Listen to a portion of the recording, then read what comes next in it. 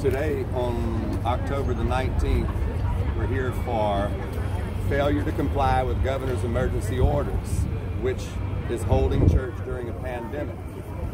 Well, since we won in the Fifth Circuit Court of Appeals on June the 7th, 2021, this case is before the Louisiana Supreme Court on a motion to quash, meaning the higher court has already ruled in this.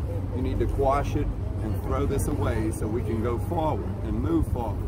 Today, the judge, Eboni Johnson Rose at the district court, wanted a status conference on where we are. Where we are is this case is before the Louisiana Supreme Court, and the lower courts can do nothing until the higher courts rule. And she has put this off now until January 18th, 2022.